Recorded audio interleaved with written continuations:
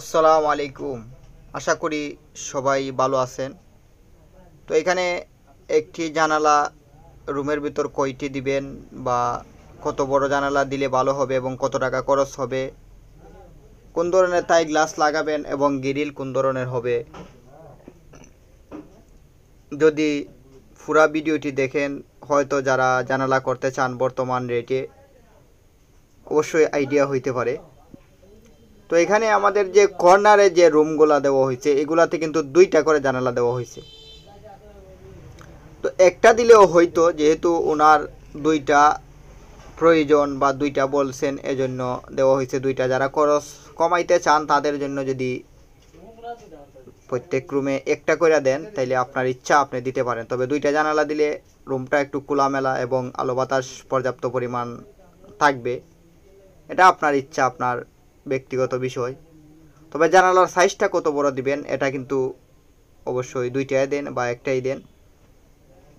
এটা আমরা বলে দিতে পারি যে, দেখেন স্ট্যান্ডার্ড বা একটা ম্যাক্সিমাম বিল্ডিংয়ে যে মাপ থাকে বা আমরা প্রায় বিল্ডিংয়ে যে মাপটা দিয়ে থাকি, এই জানালাগুলা কিন্তু ফার্স্টে পাঁচ ফিট এবং খাড়ায় দেওয়া হয়েছে সাড়ে চার ফিট যেমন নিচে দেওয়ালগুলা হয়েছে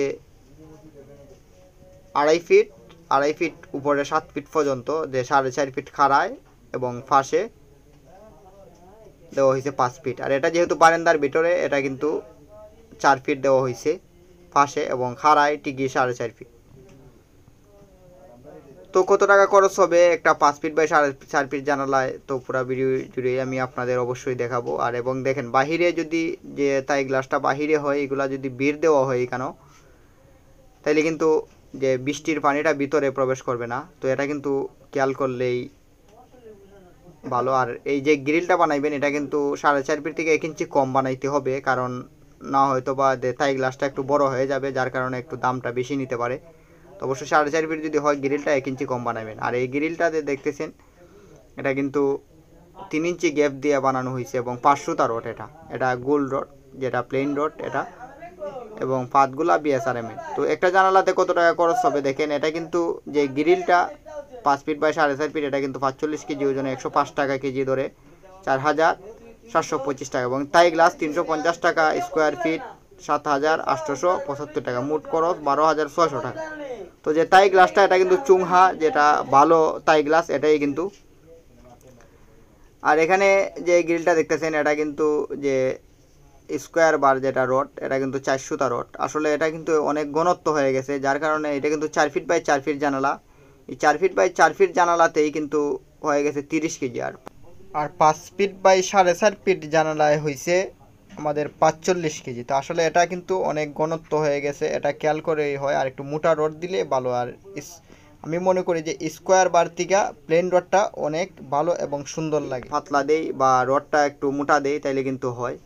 এবং যে গ্লাসটি, এটা কিন্তু এই গ্লাসটি আমরা ব্যবহার করছি তিনশো পঞ্চাশ টাকা করিয়া চুনহা, তো এটা কিন্তু পুরাতন একটা বিল্ডিংয়ের আমি দেখাচ্ছি যে এটা কিন্তু তিনশো বিশ টাকা করে লাগানো হয়েছিল, যে দুই হাজার বিশ জুলাই মাসে লাগানো হয়েছিল। তিনশো বিশ টাকা স্কোয়ার ফিট তো একটা জানালাতে হয় যে বাইশ ফিট ছয় ইঞ্চি মাল হয় একটা জানালাতে। তো এখানে এটা লাগানো হয়েছিল যে এটা এক বছর আগে, এই বর্তমান সময়ের এক বছর আগে লাগানো হয়েছিল দুইশো ওই তিনশো বিশ টাকা স্কোয়ার ফিট আর এই বর্তমান সময়ে যে জানালাটা লাগানো হয়েছে, এটা কিন্তু তিনশো পঞ্চাশ টাকা স্কোয়ার ফিটে এটাই কিন্তু তিনশো পঞ্চাশ টাকা দরে, এটা কিন্তু